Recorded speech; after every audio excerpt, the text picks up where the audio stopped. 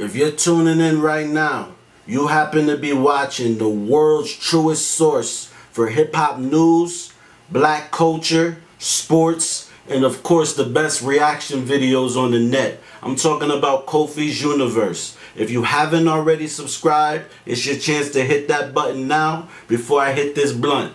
Bada. YouTube salute. Hitler wears Hermes 10. Final installment of this run Westside Gunn has been on with HWH, y'all. Let's talk about the album. If you're new to my channel, thumbs up the video. Hit the subscribe button, click that bell icon to be notified when I upload new content and go live. So before, this was supposed to be called Michelle Records. But I guess he changed it at the end. Hitler Hitler wears Hermes 10. Just want to let y'all know. But um let's get into the features. We have the Griselda Camp, Armani Caesar, Benny the Butcher, Conway the Machine. We got Jay Worthy.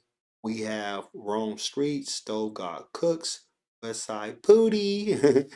Outside features Run the Jewels. Yep, you heard I said. We have Raekwon, Ghostface, Busta Rhymes, DJ Drama, Brother AA Rashid on the intro. And as far as producers, we got Conductor, we have a problem. Conductor, we have a problem. Um, Uncle Al, The Alchemist, Denny LaFlare, Elijah Hooks, Fly Guy Jr., which is West Westside's son, Mike Shabb, Pete Rock, Resurrecta, and Swizzy, Swizz Beatz, y'all. So, how many tracks? 12 tracks, just to let y'all know. The duration of the album is 49 minutes and 48 seconds. So, what are some things that stood out about this album? Number one, production wise. Production wise is great.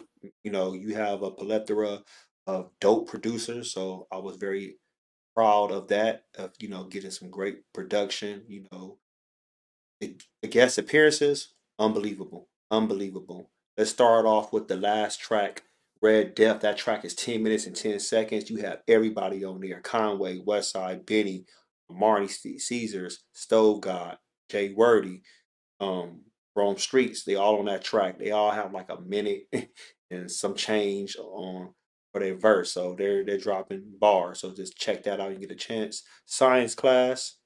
Oh my God. RZA did his um excuse me, not RZA. Swizz Beatz made that beat. Um, he did a great job, you know.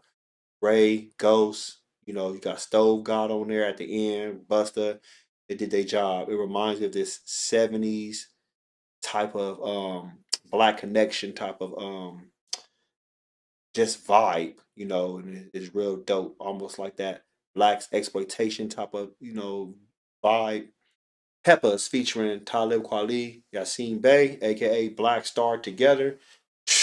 Bars, and if you haven't checked out Black Star's new album, man, this is why you know everybody anticipated Black Star dropping another album because we know, you know, what they talk about, you know, the rhyme style, you know, the rhyme scheme, lyricism, um, the conscious uh, metaphors, everything's just flowing together. So this was a real dope track right here.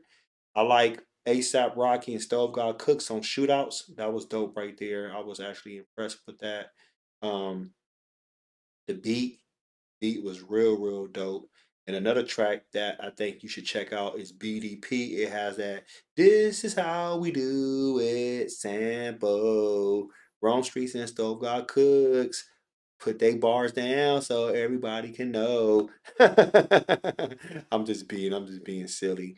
Um, so guest appearances, I give that like a nine because I was very impressed with that. Production wise, I give that a a solid eight. Give it a solid eight. Performances, I wanted Westside Gunn to actually rap a little more. He only had one track by himself. I wanted to maybe have four tracks with him by himself. So um, that's like, you know, something I took some points off, you know, just me critiquing him. I wanted to hear some more DJ drama. That's some of the points I took off. He was on here a few times, but I wanted more.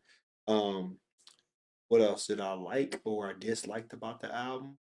Um, I think that was more just I wanted to hear more Westside by himself. But even though everybody else filled in, made a nice album. I mean, you know how West Side Gunn albums are. You already know how they are. Me, I gotta critique something. So when it comes to creativity, creativity, I give it a solid seven point. That's a production nine. Yes, appearances, I give I mean production eight. Yes, appearances a nine. Um, overall, the album is about a seven point seven out of ten. I think it's a solid what B minus yeah, B, B minus, whatever. That's how I grade it 7.7 out of 10, B, B minus. I want you to check it out on all digital streaming platforms. And um, yeah, yeah, y'all let me know what you think. Post your comments below. Post smash Black Panther the like button. Subscribe to my channel.